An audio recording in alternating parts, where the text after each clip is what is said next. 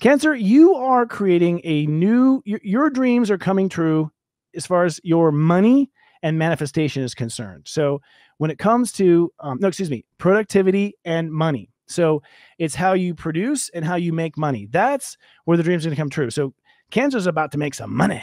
Okay. They're going to do really well. And that's because I think they're also coming out of codependent relationships and they're cutting out of uh, places in society that they shouldn't, they don't belong there because they're trying to, you know, they're the nice ones and they're trying to help the ones who aren't nice.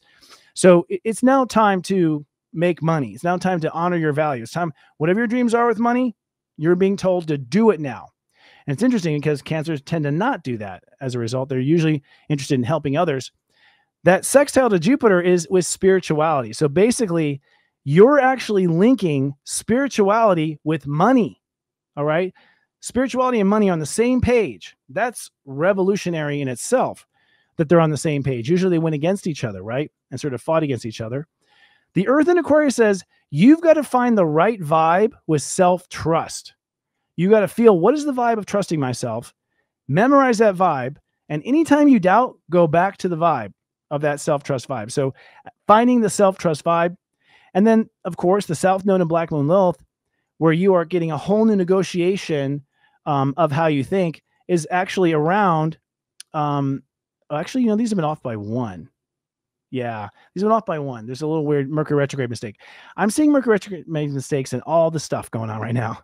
Um, so going back here, um, you are going to have to create a new relationship to yourself when it comes to self nurturing. It's actually you that gets self nurturing, not not Gemini. So I'm not sure I'm going to correct this because we can't go back and edit. The last two are off by one, but this is ironic, right? Because cancers want to make everyone feel better, and you don't know how to make yourself feel better, or the way you make yourself feel better is kind of antiquated and not really on the up and up. So you're in the, you know, you're in labor with a new self nurturing uh, approach to yourself, a new self nurturing marriage to yourself, which means basically a new approach to your feelings. It's serious.